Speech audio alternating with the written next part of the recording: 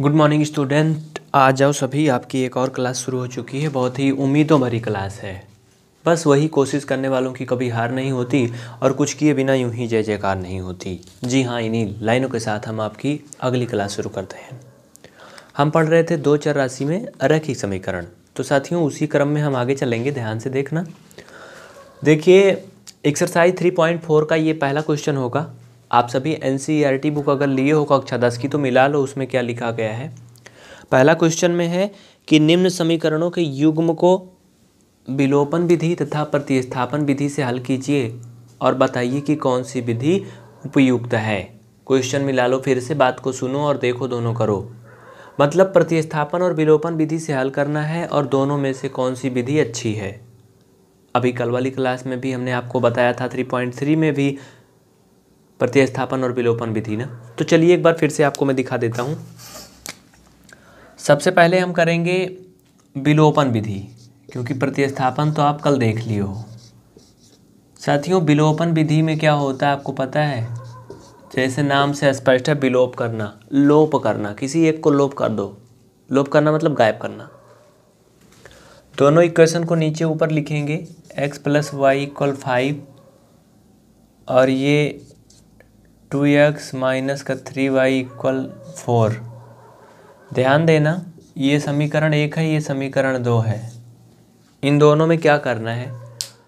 हमें कुछ ऐसा करना है, कुछ ऐसा कर कमाल के आगे। समझ गए ना? कि इसमें से एक गायब हो जाए। मतलब चाहे तो यक्स को दोनों को गुणांक बराबर कर लो, चाहे वाई वाला गुणांक बराबर कर लो। तो देखो, यहाँ पर यक्स का गुणांक दो है, यहाँ पर यक्स का गुणांक एक है। अगर हम समीकरण एक में दो से गुणा कर दें, समीकरण एक में दो से गुणा कर दें तो गुणांक बराबर हो जाएँगे। लिखो यहाँ पर, समीकरण एक में दो से गुणा करने पर। क्यों करेंगे, अभी बता रहा हूँ। ध्यान देना, समीकरण एक में जब दो से गुणा करोगे तो साथियों, ये दो एक्स हो जाएगा, प्लस ये दो आई क्यों? क्योंकि दो सौ इसमें भी होगा, दो सौ इसमें भी होगा, दो सौ इसमें होगा तो दो पंचे दस। और फिर ये समीकरण दो ऐसे लिख लो। टू एक्स माइनस का तीन वाई और फिर इक्वल फोर। ठीक ना? देखो इधर। टू एक्स माइनस का तीन वाई इक्वल कितना हो गया? फोर। ये दोनों हो गए इक्वेशन। अब हमारा काम बन गया, आपका भी बन गया। आसानी से अब आप इनको कर सकते हो। करना क्या है? बस वही चिन्ह बदल के काट दो। इसीलिए तो गुणा किया गया ना। गुणांक जानते हो कि इधर देख लो। जैसे सेवन एक्स का पावर फाइव लिखा है, नाइन वाई लिखा है, यहाँ पर वाई का गुणांक नौ है यक्स की पावर फाइव का गुणांक सात है। इसको गुणांक बोलते हैं। उसी तरह इसमें देखो यक्स का गुणांक कुछ नहीं है तो एक मानते हैं। वाई का गुणांक कुछ नहीं तो एक मानते हैं। लेकिन इसमें दो था ना। तो हमें दोनों को बराबर करना है, किसी भी तरह से चाहे इसका गुणांक बराबर हो जाए, चाहे इसका हो जाए तो इसमें देखो हमने यक्स का गुणांक बराबर कर लिया। ये देखो गुणा करके हो गया ना बराबर? तो जब ऐसा हो जाए तो बस चिन्ह बदल लेते हैं, घटाते समय इसको घटा लेंगे दोनों समीकरण को। ये कट जाएगा, ये दोनों जुड़ जाएगा, पाँच वाई, ये भी चिन्ह बदल जाएगा। देखो घटाते हैं तो सभी चिन्ह बदल जाते हैं। जहाँ प्लस माइनस था प्लस, जहाँ प्लस था माइनस, जहाँ प्लस था माइनस। ये भी घट जाएगा छः यानी कि अब आप यहाँ कह सकते हो कि वाई का मान छः बटा पाँच आया है। कितना आया है? वाई का मान छः बटा पाँच नोट कर लो। सिक्स अपान फाइव लिख लो जल्दी से।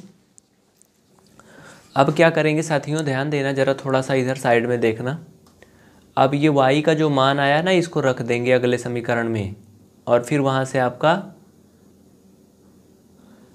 एक्स का मान आ जाएगा। चलो रख लेते हैं। वाई का मान समीकरण एक में रखने पर।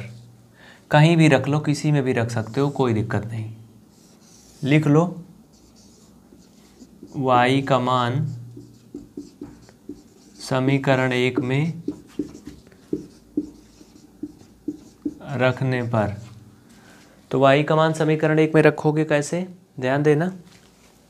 समीकरण एक है एक्स प्लस वाई इक्वल कितना है? पाँच।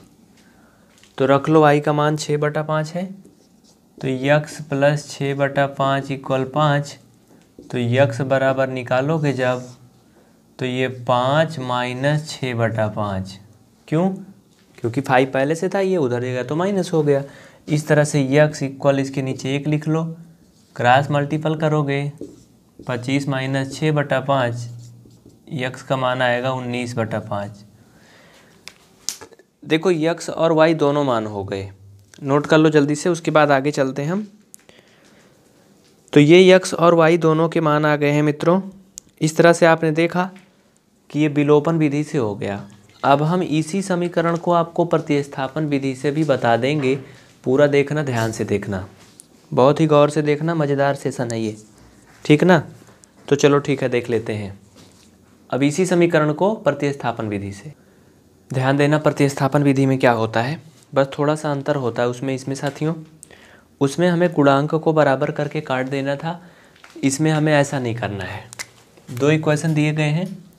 हम क्या करेंगे? पहले इक्वेशन से लेके हल करेंगे, ध्यान देना।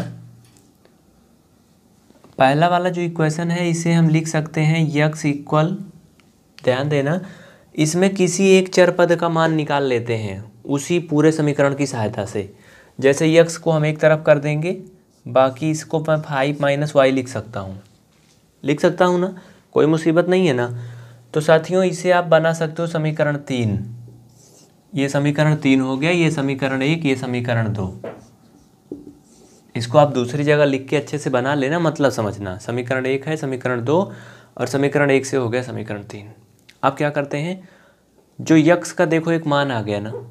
ठीक ना? ये विलोपन भी प्रतिस्थापन विधि है है ना? चलिए, अब क्या करेंगे? अब लिखो यक्स का मान समीकरण दो में रखने पर, क्योंकि हमने एक से निकाला है। तो समीकरण दो लिख लो। टू यक्स माइनस तीन वाई बराबर फोर है। यही है ना? तो चलो रख लेते हैं साथियों, पाँच माइनस वाई है ना? तो ये हो जाएगा दो इंटू पाँच माइनस वाई माइनस का तीन वाई बराबर चार। हल कर लो। ये दस हो जाएगा माइनस दो वाई माइनस का तीन वाई बराबर चार। ध्यान देना और आगे बढ़ते चलना ऐसे। ठीक ना? दस माइनस दो आई और माइनस का तीन वाई बराबर चार। अब देखो साथियों, ये दोनों माइनस माइनस है ना? माइनस माइनस जुड़ जाएगा, यानी कि ये हो जाएगा माइनस का तीन तो जुड़ेगा तो पाँच ही तो होगा छः कहाँ से होगा? कितना हो जाएगा? पाँच वाई। यानी कि माइनस का पाँच वाई इक्वल कितना हो जाएगा? देखो ये चार है और ये छः उधर जाएगा तो माइनस हो जाएगा। तो यार सिंपल सी बात है ये चार माइनस दस है ना? ये दस उधर गया माइनस हो गया। आ, तो ये तीन दो पाँच यानी कि वाई का अगर वैल्यू निकालोगे तो ये माइनस का छः और बटा पाँच। देखो वाई का मान फाइनल में आ गया कंप्लीट हो गया ना। अब साथियों, ये जो वाई का मान है, आप इसे किसी समीकरण में रख सकते हो। देखो, ये बह जा रहा है थोड़ा सा ज़्यादा सही हो गया है। तो ये माइनस में है, समझना बस। ठीक ना? तो चलिए रख देते हैं वाई का मान। ये माइनस है, याद रखना, भूलना मत। वाई का मान रख देंगे, समीकरण नंबर दो में रख लेते हैं, चाहे एक में रख लेंगे, एक में आसान रहेगा, किसी में भी रख सकते हो, कोई दिक्कत नहीं है। चलिए, इधर नहीं दिखेगा तो बताना, अभी कैमरा घुमा देंगे। वाई का मान समीकरण एक में रखने पर, लिख लो ऊपर वाई का मान समीकरण एक में रखने पर। तो यक्स धन वाई बराबर पाँच है। वाई का मान रख लो, माइनस का छः बटा पाँच आएगा। देखो, ये घटेगा तो माइनस का छः आएगा ये माइनस का पाँच है ना यार। इधर जाएगा तो ये भी माइनस होगा। मतलब ये कुल मिला के प्लस है। तो प्लस ये छः बटा पाँच बराबर पाँच। तो साथियों, ये हो जाएगा यक्स बराबर पाँच माइनस छः बटा पाँच। तो यक्स बराबर ये पच्चीस माइनस छः। भाई, वैसे तो होगा जैसे अभी तक किए थे, नीचे पाँच। तो ये हो जाएगा उन्नीस बटा पाँच। देखो, चाहे जो विधि लगाओगे, उत्तर वही आएगा। और आ गया कि नहीं आ गया? ये वाई का मान आ गया छः बटा पाँच, और यक्स का मान आ गया उन्नीस बटा पाँच। तो ये दोनों हो गया प्रतिस्थापन विधि और विलोपन विधि। अगर आप पहली बार जुड़े हैं पीवीआर स्टडी प्रयागराज में तो अभी चैनल को तुरंत सब्सक्राइब करके बेल आइकन प्रेस करें। और आपको बता दें, साथियों, एक कंप्लीट बात। अगर आप कंप्लीट मैथ पढ़ना चाहते हैं टेंथ का एन तो आपके लिए बहुत ही आसान एक तरीका है P V R study three point zero search करना यूट्यूब पर। केवल P V R study three point zero search करोगे, ये परे P V R study Prayagraj का चैनल नंबर तीन है। या पूरा नाम है चैनल का ये, लेकिन इतना लिखोगे तो आ जाएगा। उसके बाद आपको टेंथ और ट्वेल्थ का complete N C R T math इस पर फ्री में मिलेगा। यूट्यूब में अगर आपको कोई समस्या होती क्लास खोजने में तो आप P V R study apps install करें और P V R study apps में आपको एक सिस्टम से पूरी कंप्लीट मैथ मिल जाएगी। किसी प्रकार की टेक्निकल हेल्प के लिए व्हाट्सअप करें या कॉल करें। ठीक ना? जय हिंद। चलते चलते एक निवेदन होगा, विनम्र प्रार्थना है हाथ जोड़ करके कि इस क्लास को अपने कम से कम दो चार फ्रेंड को ज़रूर शेयर करिएगा।